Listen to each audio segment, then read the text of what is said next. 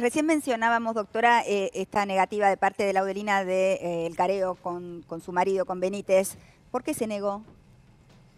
Bueno, en realidad el escrito fue muy claro. Primero porque no hay contradicciones. Vamos a empezar por ahí. Para llegar a un careo tiene que haber contradicciones. Aquí no, no las hay. Si hubo algo de lo que se quejaba, que mm. ella no era taxativa en sus dichos, no decía directamente eh, Benítez eh, subió, llevó al chico o Ramírez. Ella dijo para mí es, su, percepción, es, su, es lo que ella entendía que pasó. ¿Por qué? Porque está lejos del lugar, no puede ver eh, si en el monte llevó uno o el otro. Sí tiene claro con quién se quedaron los chicos. Entonces, no, porque no fue directa tampoco. Y después la otra contradicción era que si trabajó con Callaba, ella dijo, no, yo no.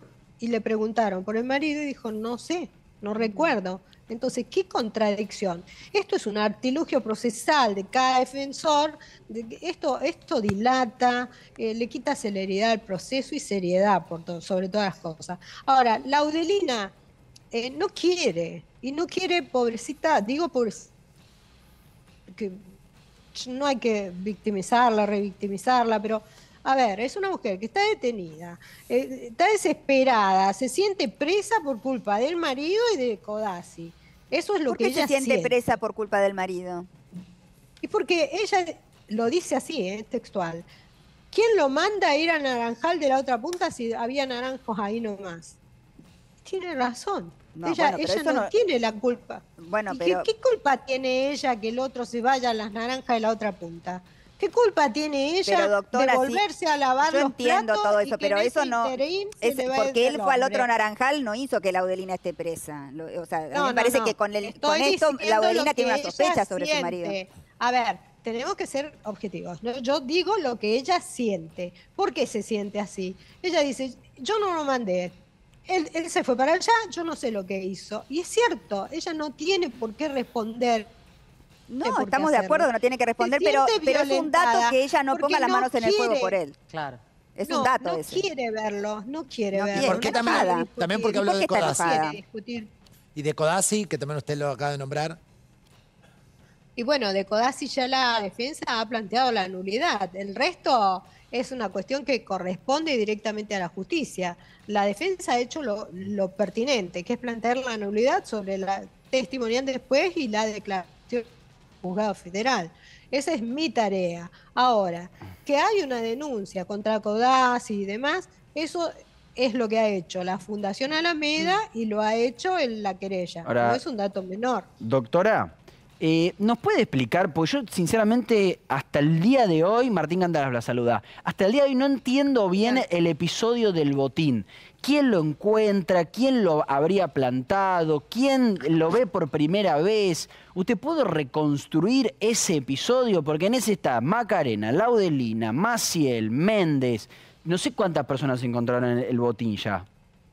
Y es, es vergonzoso, pero ella fue muy clara en su declaración, ¿no? El botín lo encuentra Macarena.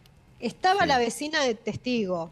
Lo dice la vecina en una testimonial, que es la que va con ellas a donde supuestamente las huellas habían sido encontradas por un vecino. Entonces, el comisario Maciel hoy le conviene desprenderse y descargar todas sus ilicitudes sobre, sobre Laudelina, y es un tema de, Maciel, pero acá las cosas no se hicieron bien. Primero, cuando se secuestra un elemento hay que hacer una diligencia pertinente. No sé si se hizo, realmente no lo sé, porque ahí el botín quedó sobre la arena, el señor Maciel dijo que se fueran y él siguió después cosas. He escuchado otros testimonios donde dijo que esa vieja loca que diga lo que quiera. Entonces, es poco cierto, esto, esto es poco serio. Es poco serio. Igual da la sensación de que, a ver, participó de la primera cápsula de secuestro, Laudelina, doctora. Por lo menos por la... Queda la sensación de que participó en la primera cápsula de secuestro la señora Laudelina, su marido. No, no. no ¿Eso, eso considera burlando y considera la querella? Y, bueno, y las comunicaciones me parece que la circunscriben en la zona del delito. Pero cada uno puede opinar lo que le parezca y crea conveniente. Yo le estoy hablando de lo que yo entiendo y cómo voy a defender a Laudelina, porque acá hay cosas que son eh, muy serias. Si la, el botín o la zapatilla, como se llame, lo encontró la hija, ¿por qué va a decir Maciel lo encontré yo? A ver, ¿por qué? ¿Por qué tiene Maciel tanto problema con Laudelina? Porque Laudelina fue la primera persona que habló y dijo las barbaridades, o sea, las irregularidades que y le molestan a, Maciel. ¿Cómo está Laudelina con la familia, eh, con su familia, con la familia de Loan? ¿Cómo está con los, los padres de Loan? ¿Hay contacto con su mamá, Catalina? Ella está aislada y con los las únicas personas que la llaman a veces cuando les prestan un teléfono son los hijos. Nada más Macarena y la otra hija. La, chica. La madre no. Un nene que tiene chiquito de seis años. Ok. Y, le quiero preguntar por esta figura. le voy a aclarar algo que no, no debo, pero lo voy a aclarar porque si me está viendo el defensor, el colega que sirva. Están constantemente el acoso, o sea, el, hostigamiento de Benítez hacia las hijas de, de Laudelina porque él quiere hablar con Laudelina.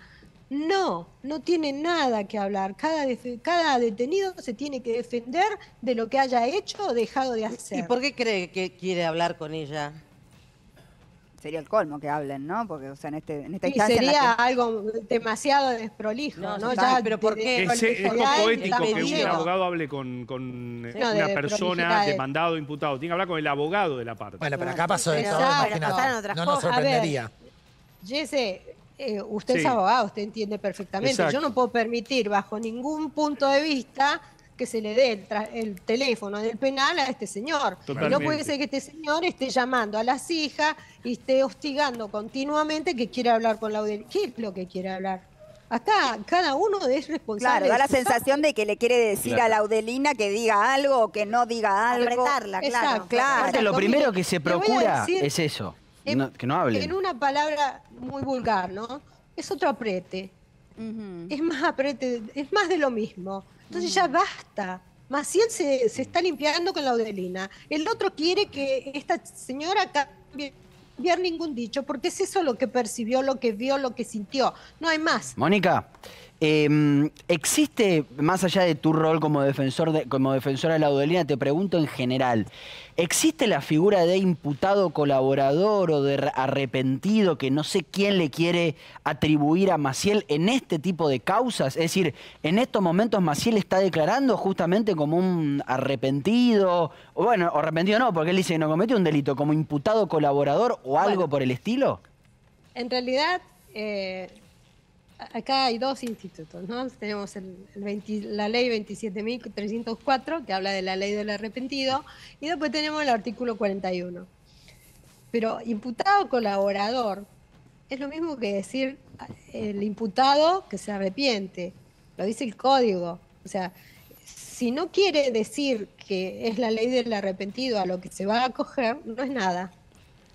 Pero puede serlo. Puede, decir voy a ser arrepentido, voy a contar quién. Para arriba tiene que hablar del arrepentido, no va a decir que para abajo. Más que para arriba, Martín, tiene que ser muy certero. Claro, tiene que decir nombre, apellido.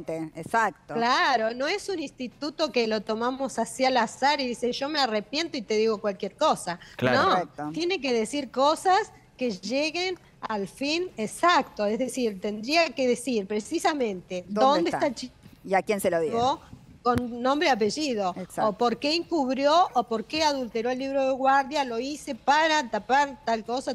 Pero eh, la ley del arrepentido no es cualquier cosa, es un instituto muy serio y los jueces federales a eso lo cuidan mucho. Muchas gracias, doctora. Estás en el 7.